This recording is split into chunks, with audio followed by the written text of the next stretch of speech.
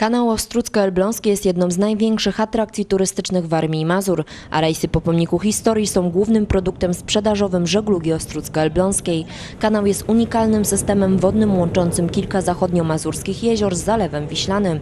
Jest jedynym w Europie działającym systemem pochylni umożliwiającym pokonanie statkom 100-metrowej różnicy poziomów wody pomiędzy Jeziorem Drwęckim a Zalewem Wiślanym. Powoli dobiega koniec sezonu turystycznego. Przyszedł więc czas na podsumowanie tegorocznych rejsów statkami wycieczkowymi po wodach Warmii i Mazur. Z pewnością był to wyjątkowy sezon. W tym roku aż 60 tysięcy pasażerów kupiło bilety na rejsy.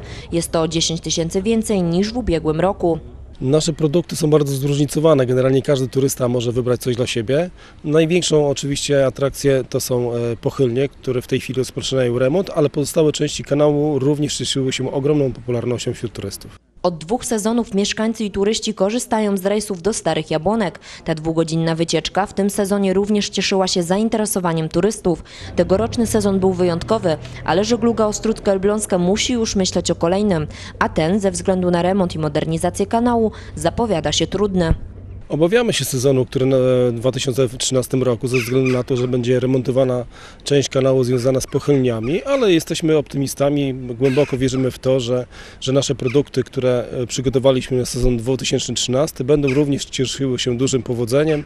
Jednym z fajnych produktów będzie rejs do Iławy i z powrotem, bo trzeba pamiętać, że przez kilka lat e, ze względu na brak remontu kanałów do Iławy nie mogliśmy dopłynąć. Dla wszystkich tych, którzy jeszcze w tym roku nie pływali po jeziorze Drwęckim mamy wiadomość. W najbliższą niedzielę będzie można skorzystać z rejsów spacerowych. Już tradycją się stało, że sezon rozpoczynamy specjalną ofertą dla mieszkańców Ostrudy i też sezon kończymy również specjalną ofertą promocyjną dla mieszkańców Ostrudy. W najbliższą niedzielę serdecznie zapraszam wszystkich na podsumowanie sezonu, rejsy promocyjne w promocyjnych cenach. Rozpoczynamy od godziny 12.